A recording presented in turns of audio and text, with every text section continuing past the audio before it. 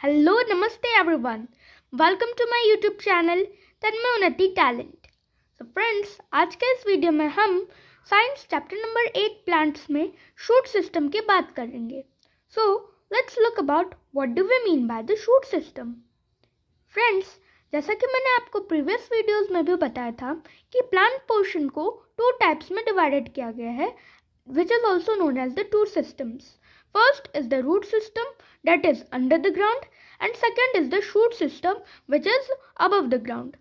तो इस वीडियो में हम शूट सिस्टम की बात करेंगे। जैसा कि हमने रूट सिस्टम में देखा कि रूट सिस्टम ग्राउंड के बिलो होता है और उसमें रूट्स होती हैं। वैसे ही शूट सिस्टम की बात करते हैं। तो शूट सिस्टम में क्या क्या होता है?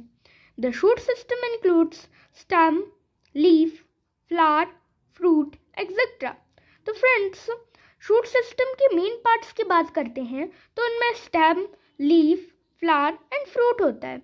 यानी कि ये फोर मेन थिंग्स हैं जो कि शूट सिस्टम में प्रेजेंट रहती हैं। अब हम इनके डिटेल में पढ़ेंगे।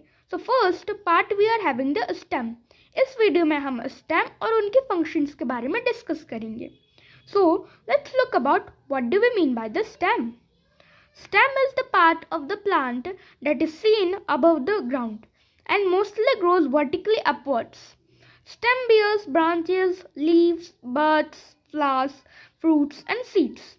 Stem exposes the leaves, flowers, and branches to sunlight. It also supports the plants when the branches become too heavy.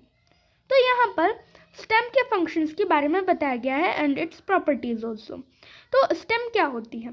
Stem की डिफिनेशन ये होती है कि स्टेम प्लांट का वो पार्ट है जो ग्राउंड के अबव होता है, जो ग्राउंड के अबव ग्रो होता है राइट तो स्टेम क्या होता है? ग्राउंड के अबव ग्रो होता है।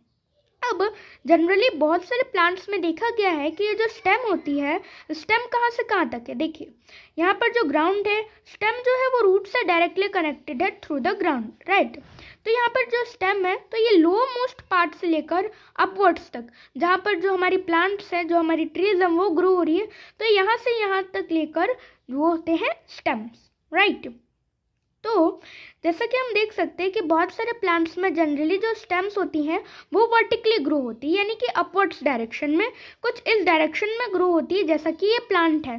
बट कुछ प्लांट्स ऐसे भी होते हैं like creepers for an example we are having the watermelon तो वाटरमेलन जो एक क्रीपर है, वो एक ऐसा प्लांट है, जिसकी जो स्टेम्स है, वो हॉरिजॉन्टल होती हैं। ऐसे और भी बहुत सारे प्लांट्स हैं, जिनके स्टेम हॉरिजॉन्टली होती हैं। बट जनरली जितने भी प्लांट हैं, उन सबके अपवर्ड्स स्टेम देखे गए उनके, उन सभी के वर्टिकली स्टेम्स देखे गए हैं।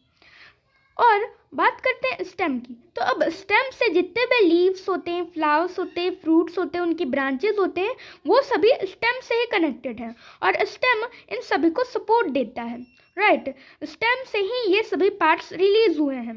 अब बात करते हैं तो ये जो स्टेम्स हैं, ये लीव्स को फ्लावर्स को और ब्रांचेस को सनलाइट में रखती है। इससे क्या होता है? फोटोसिंथेसिस प्रोसेस में हेल्प मिलती है प्लांट को।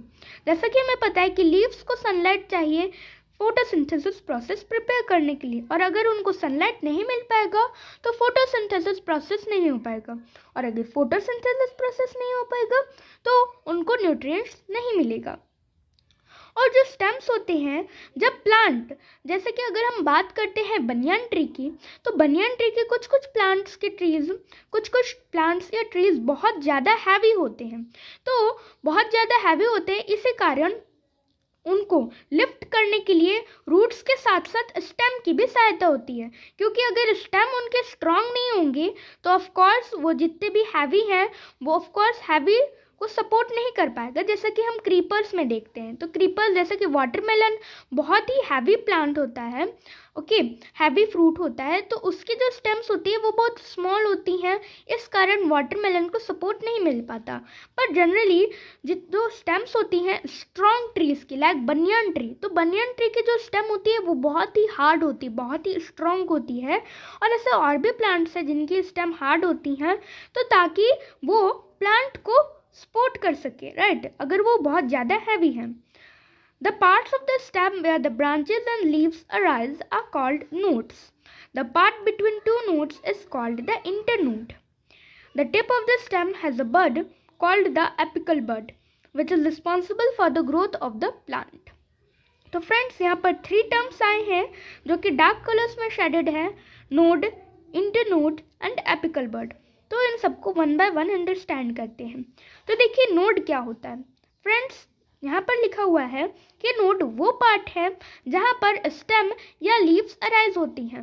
ओके तो हम देख सकते हैं कि ये जो ब्रांचेस कनेक्टेड है, यहाँ पर भी ब्रांचेस हैं, यहाँ पर भी ब्रांचेस है, ये सभी स्टेम से जुड़े हुए हैं राइट तो जो पॉइंट यहाँ पर आ रहा है हमारा तो जो यहाँ पर पॉइंट आ रहा है, ये हो गया आपका नोड क्योंकि इस स्टेम जो स्टेम है, इसी के पार्ट से यहाँ पर ब्रांचेस अराइज हुए हैं।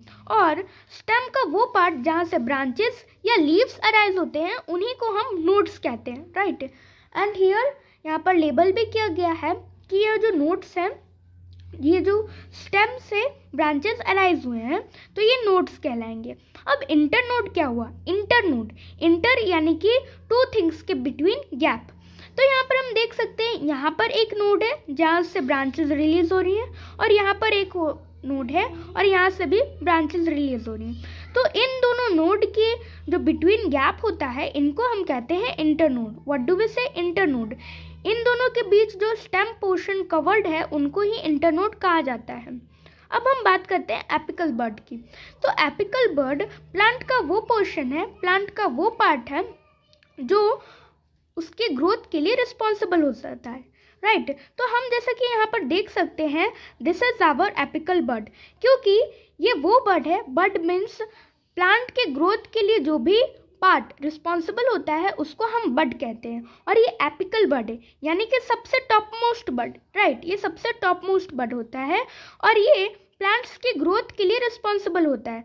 प्लांट को बढ़ने के लिए उसके कुछ ऑर्गन्स की तो ज़रूरत होगी तो यस जो स्टेम है स्टेम में ही सबसे टॉप मोस्ट में एपिकल बर्ड प्रेजेंट रहता है। The stem conducts water from the roots to the leaves and other plant parts and food from the leaves to other parts of the plant तो friends यहाँ पर stem की function दी हुई है कि stem कौन से फ़ंक्शन को परफॉर्म करता है। तो जैसा कि हम सभी को पता है शूट सिस्टम में जो स्टेम प्रेजेंट है स्टेम वाटर लेता है। यस वाटर को लीव्स तक पहुंचाता है और उसके अदर प्लांट पार्ट्स को भी वो सप्लाई करता है। तो जैसे कि हमें पता है कि जो रूट्स होते हैं रूट्स क्या करते हैं? वाटर एंड मिनरल्स को एब्जॉर्ब करते हैं। तो जो ये वाटर और मिनरल्स रूट के द्वारा एब्जॉर्ब होता है, ये डायरेक्टली स्टेम तक पहुँचता है। अब स्टेम से इसको लीव्स में जाना होगा फ्लावर्स में जाना होगा, तभी तो प्लांट को न्यूट्रिशन पहुंचेगा। तो यस स्टेम वाटर और मिनरल्स को सप्लाई करता है लीव्स को और उसके अदर प्लांट पार्ट्स को। Like we are having the fruits and the flowers right और अगर स्टेम नहीं होगा तो जितने भी वाटर और मिनरल्स हैं, वो सभी प्लांट्स में ट्रांसपोर्ट नहीं हो पाएँगे और प्लांट को न्यूट्रिशन नहीं मिल पाएगा। तो अगर हम स्टेम की बात करते हैं तो स्टेम क्या करता है?